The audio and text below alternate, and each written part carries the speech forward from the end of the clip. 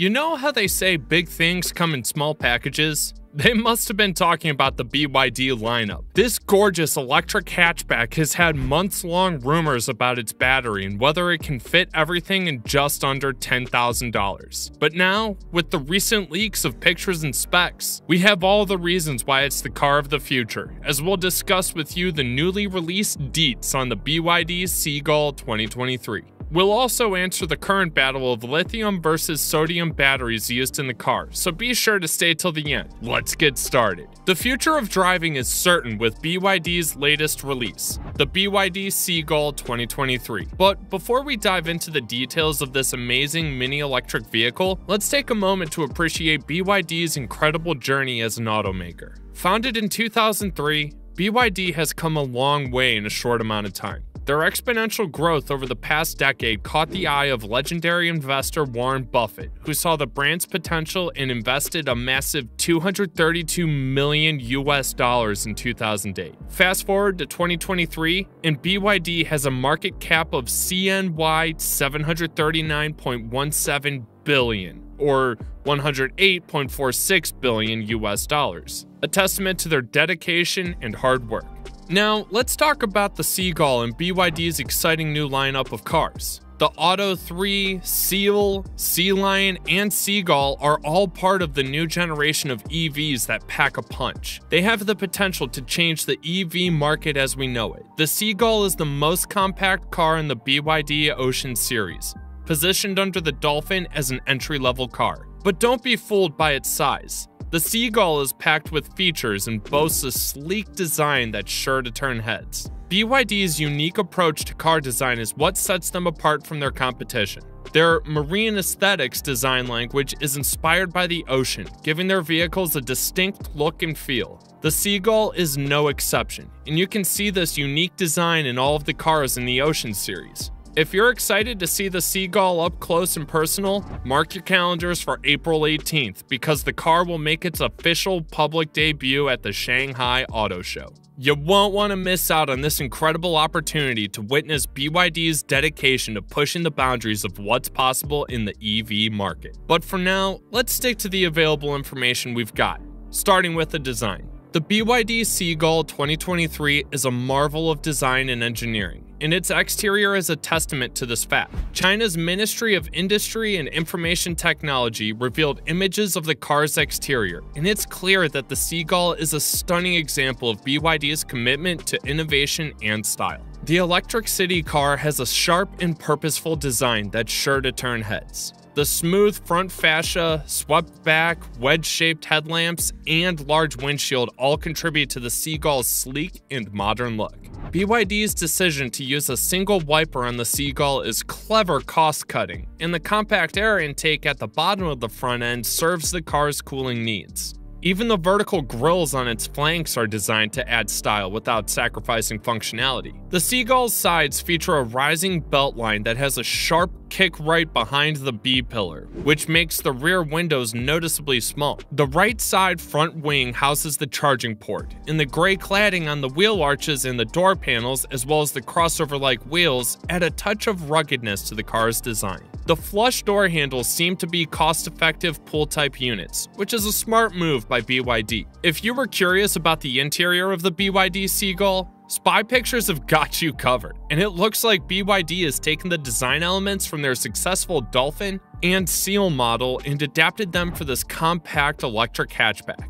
The three-spoke, flat-bottom steering wheel with metallic inserts looks sporty and stylish. The compact instrument cluster is a freestanding display and bends perfectly with the car's aesthetics. The Seagull's central dashboard has two circular air conditioning vents, which sit on each side of a touchscreen infotainment system, which is likely similar to the Dolphin's 12.8 inch unit. And the cylindrical panel of physical controls, including the gear selector, also comes from the bigger Dolphin model. BYD has added two dedicated smartphone storage locations, one below the touchscreen and one in front of the cup holders. The interior features a dual-tone beige and black color scheme and quilted seat covers. And all this is packed into a compact electric city car, measuring 3,780 millimeters in length, 1,715 millimeters in width, and 1,540 millimeters in height, with a wheelbase of 2,500 millimeters and a seating capacity of four people, including the driver. The BYD Seagull is not just stylish and compact, but it also packs a punch in terms of performance. With two power motor options, drivers can choose between a maximum power output of 55 kilowatts and 70 kilowatts. This means that the Seagull is not just perfect for city driving, but it can also handle longer distances and more challenging terrains. But what sets the Seagull apart from other electric vehicles is its impressive cruising range of up to 400 kilometers on a single charge. This means that drivers can travel long distances without worrying about running out of charge or having to stop for frequent charging breaks. This extended range is especially impressive considering the Seagull's compact size and entry-level positioning in the BYD lineup. With a top speed of 130 kilometers an hour, the Seagull is also perfect for short trips and urban commuting. It's ideal for those who want a reliable and efficient electric vehicle that can easily navigate through crowded city streets and traffic. And with its stylish and modern design, the Seagull is sure to turn heads wherever it goes. BYD seems to be going all out to attract young customers with the Seagull electric car. Along with its compact size and affordable price, the company will offer the car in a range of funky and pop colors that are sure to turn heads. On February 8, 2023, CarNewsChina.com published pictures of a seagull painted in fluorescent yellow, and on January 18, 2023, BYD released a video of a pink colored seagull on YouTube. These colors will also be available for the interior of the car, making it a fun and trendy option for young drivers. With its practical range, stylish design, and eye-catching colors, the BYD Seagull seems poised to make a splash in the electric vehicle market. We have some exciting news to share about the BYD Seagull. According to a Yeesh report from November 30th, 2022, the car will be available with two types of batteries, sodium ion and lithium ion. The unique sodium ion chemistry could deliver a range of around 300 kilometers, while the conventional lithium ion battery could deliver a range of around 400 kilometers. However, a more recent report on info.xcar.com.cn from February 22, 2023, mentioned a lineup of four range variants, offering customers even more options to choose from 265, 310, 408, and 360 kilometers. Sodium ion batteries are getting a lot of attention lately, and for good reason. Compared to lithium ion batteries, they could achieve similar performance in a wider range of applications without the supply chain headaches. The price of lithium has skyrocketed due to rising demand for batteries, up nearly 450% compared to last year, according to S&P Global Commodity Insights.